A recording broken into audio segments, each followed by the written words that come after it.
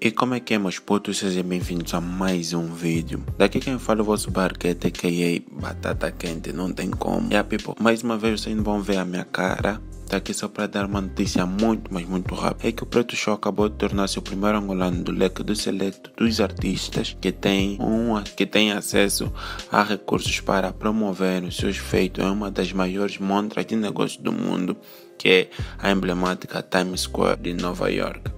Preto Show aparece também em um top em um ranking Billboard de placar eletrônico a promover o seu bem-sucedido EP Vibe. A presença de Preto Show está inserida no projeto da Prime Music Partner, que visa promover em massa ritmos de sucesso africano e posteriormente juntar todos esses talentos para a gravação do single Stand For You Africa. Então, people, fiquem com os vídeos do Preto Show aparecer nessas tabletes que eu fui e peace.